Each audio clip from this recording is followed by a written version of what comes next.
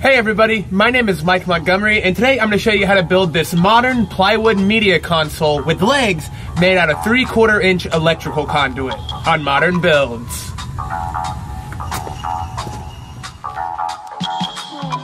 To start this project, I got a sheet of 3 quarter inch pine plywood, and I broke it down into three 16 inch wide pieces, although I'm only going to be using two. Whenever I'm using a circular saw, I like to use a piece of polystyrene insulation as a cutting mat. They're really cheap and reusable. Just one piece of insulation will last me about 4 months. Then I moved over to the miter saw where I could cut my pieces to length. First, my top and bottom piece at 48 inches. And as you can see, my miter saw couldn't quite cut through it all in one pass, that's why you see me flipping the pieces over. Then I could cut all of my 14 inch pieces which are all the vertical supports. And whenever you need to cut multiple pieces the same size, you always want to reference and mark using the first piece you cut to reduce cumulative error.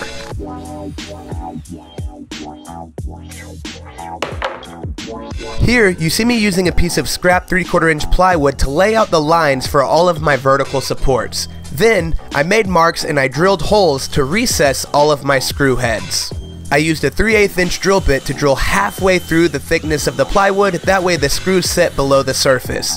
Then I came back with an 8 inch drill bit to drill the pilot hole through the rest of the plywood. Assembling this main cabinet really was simple. I used wood glue for good long-term strength, the screws are really just there to hold it while the glue dries. My big piece of advice here is to start square. It's easy for a cabinet to get really wonky if you aren't constantly coming back with a speed square or something to reference and make sure your pieces aren't getting out of alignment. Next, I added my two vertical spacers that split this cabinet into thirds. And finally, I could add my middle shelf. I didn't cut this piece to size until I had assembled everything else. That way I knew it was going to be a really snug fit. Here, I'm marking the center point of each of my vertical supports. That way I could strike a line across each face of those supports. Then I could drill holes to recess the screws the same way I did on the rest of the cabinet. You all have commonly seen me use a pocket hole drill bit to do this. That's because it drills the pilot hole along with the hole to recess the screw at the same time. Now that I had everything screwed together, I needed to plug up all of those holes, and I'm using some 3 8 inch flat plug dowels that you can pick up at Home Depot. In fact, I'll have an Amazon link in the description. The ones I chose were oak. After that, I came back and sanded the whole cabinet up to 220 grit, ready for finish. Really quickly, before moving on, I'd like to give a huge thanks to this video sponsor, a company I love, Squarespace. Squarespace is the one-stop shop to build your own website. And the best thing is you need no website building experience. Squarespace's built-in designer templates look amazing right out of the box, but they're super easy to customize as well. You can start by arranging different blocks of text in image galleries to create your own custom layout. Then you can go even further by customizing the fonts and color schemes of your site. The Modern Builds website started on Squarespace long before they were a sponsor, and I personally recommend them all the time to my friends and colleagues. So to learn more and to build your own Squarespace site, make sure and follow the link down in the description, squarespace.com forward slash modern builds. And don't forget, use the code modern builds at checkout for 10% off your first Squarespace site. Thanks, Squarespace. To make the legs for this console, I'm going to be using this tool. It is a 3 quarter inch EMT electrical conduit bender. My plan initially was to get some 3 quarter inch copper pipe and use this to bend a radius to create the legs. But it failed miserably. The copper was way too brittle and the walls were way too thin that it just immediately snapped. So then I thought I could add a little bit of heat and maybe help it bend easier, but it just crinkled and folded under the pressure of this tool. Thankfully though, as a fallback, I still picked up some 3 quarter inch electrical conduit, so we're gonna try that. Before bending anything, I made a mark every inch along the conduit. That way I knew where to start my bend, this time at 2 inches, as well as how it would affect the conduit overall. Alright, fingers crossed that this goes well.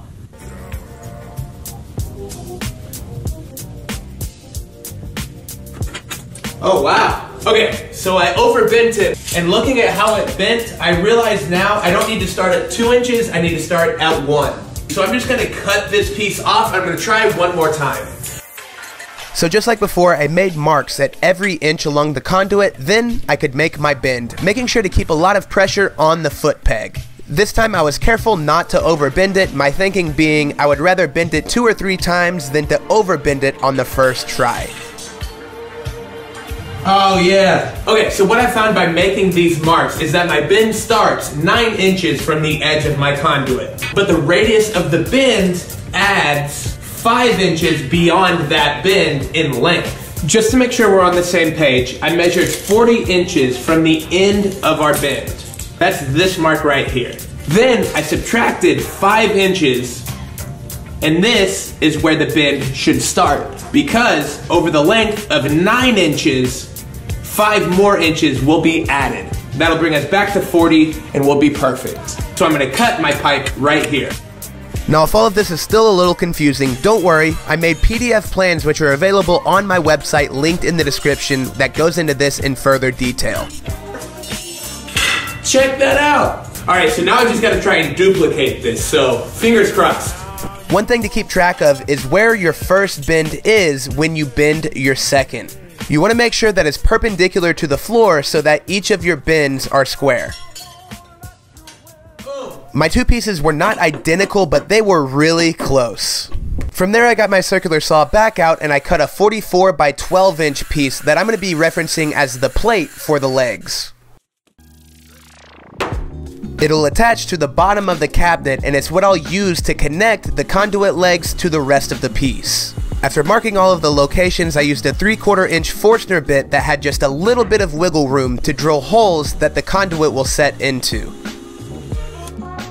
Once I knew everything fit, I masked off the ends so that I could paint everything with a few coats of flat white paint from Rust-Oleum. After the paint cured overnight, I got some Gorilla 5 minute epoxy to attach the legs permanently to the plate. Like I mentioned, the conduit legs have a tiny bit of wiggle room inside of the holes that I drilled. And by using epoxy, I was able to put a lot of adhesive where these pieces are going together. And to make sure the legs were at the exact same height from the plate, I used seven 3 quarter inch plywood spacers. Once the epoxy had time to cure, I centered the plate on the bottom of the console and screwed everything down. The last step was to get some Maker brand Simple Finish with wax and apply two coats to this cabinet. This is one of the flagship products from my company Maker brand and you can find it linked in the description. All you have to do is apply two coats, letting them sit for about 15 minutes, then wipe off all of the excess. So overall, this probably isn't my favorite project I've ever built, but I love how clean and consistent these conduit legs came out. If you have any cool ideas on how to incorporate these into other projects, I'd love to hear. So I hope you guys enjoyed this video. It was a ton of fun to be able to experiment like this. Even though I wasn't able to get this project done with copper pipe, I still love the way it came out. In hindsight, since this conduit does bend at such a long radius, I would do this project over a longer span. This is a four foot cabinet and I think these legs would look really great if they were stretched out over a six foot long cabinet especially. Now don't forget, if you want to learn more or build this project for yourself, I have downloadable PDF templates on my website linked in the description. There's there's a cut list, a 3D model, and some helpful tips to get you started. In fact, I even included plans for a six foot long cabinet just like this one. I want to give one more huge thanks to Squarespace. You guys that watched to the end of this video know that they have sponsored my channel for a long time. They're an amazing company, they have an incredible product, and I couldn't be a bigger fan. And what's amazing is they offer a free trial. You can literally build your entire website before you even sign up. And once you do, just make sure and use the code ModernBuilds and get 10% off. Other than that, if you're not already already, make sure and click that subscribe button down below and even hit that notification bell if you haven't seen my videos popping up in your subscriptions feed. If you've got any questions or comments, make sure and leave those below. And don't forget, follow me on Instagram. I would really appreciate it. So thanks again, guys, and we'll see you next time on Modern Builds.